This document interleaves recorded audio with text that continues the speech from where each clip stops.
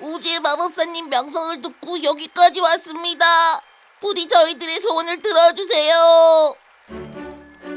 정말 마법사일까? 그냥 우리 또래 아이 같은데 엉터리 같아 소원을 뭐? 말해보렴. 안녕하세요 전 하수아비 마샤라고 해요 전 뇌를 원해요 우와 그런 것도 먹어? 아니야 내 친구 미니버니한테 줄 거라고 내 망가지면 마샤의 진짜 친구가 될 수 있어 어 미니버니 그렇다면 어, 저기 가시소는 왜? 걱정 마. 정확히 반으로 나눠줄게. 아 잠시만 얘가 먼저 하겠대 나는 강철 나무꾼 에이미야. 나는 심장을 가지고 싶어. 심장? 이렇게, 이렇게, 이렇게. 심장이 두근거리는 걸 느끼고 싶어.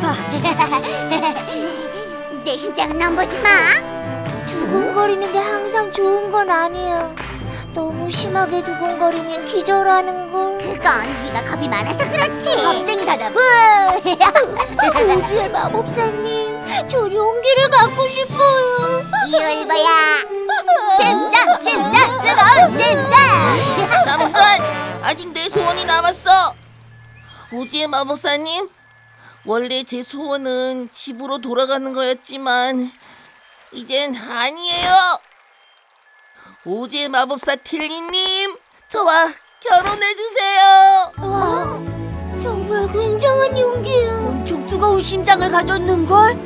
저런 말로 마법사한테 잘 보이다니 머리도 좋은걸 누구보다 굉장한 용기, 뜨거운 심장, 뛰어난 머리를 가진 소년이여. 그대 덕분에 모두의 소원을 이뤄줄 수 있겠군. 잡아!